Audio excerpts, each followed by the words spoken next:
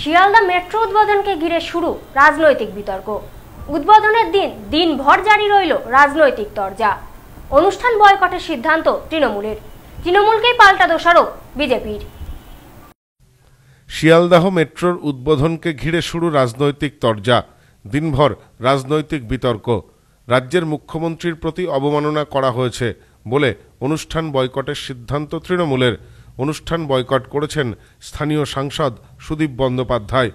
পাশাপাশি আমন্ত্রণ বিতর্কে পাল্টা তৃণমূলকেই দোষারোপ করেছে বিজেপি। অভিযোগ, পাল্টা অভিযোগের মধ্যেই সোমবার শিয়ালদাহ মেট্রোর উদ্বোধন।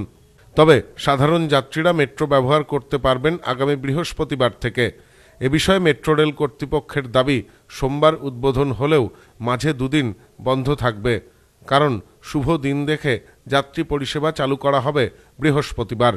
যদিও রেলের কারিগরি বিভাগের দাবি, যাত্রী পরিষেবা চালু করার আগে শেষ মুহূর্তে বেশ কিছু জিনিস খতিয়ে দেখার প্রয়োজন থাকে।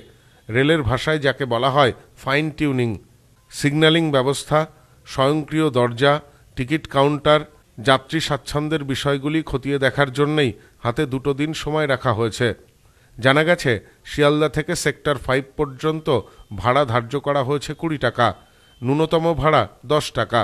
জানা গেছে, অফিস টাইমে পনেরো মিনিট অন্তর চলবে মেট্রো, অন্য সময়ে কুড়ি মিনিট অন্তর চালানো হবে মেট্রো। মেট্রো কর্তৃপক্ষের আশা, এই রুটে ট্রেন চালু হওয়ার পর প্রতিদিন অন্তত পঞ্চাশ হাজার যাত্রীকে তারা পরিষেবা দিতে পারবেন। সেক্টর ফাইভ থেকে শিয়ালদাহ পর্যন্ত সবথেকে বড় স্টেশন হচ্ছে শিয়ালদাহতে। লিফট, চলমান সিঁড়ি এবং সবথেকে বেশি সংখ্যক টিকিট কাউন্টারও থাকছে শিয়ালদা স্টেশনে। মেট্রো রেল কর্তৃপক্ষ সূত্রে জানা গেছে, তবে শিয়ালদা স্টেশনের দুটি প্ল্যাটফর্ম আপাতত যাত্রীরা ব্যবহার করতে পারবেন না। Bureau report, news, no man's land, Kolkata.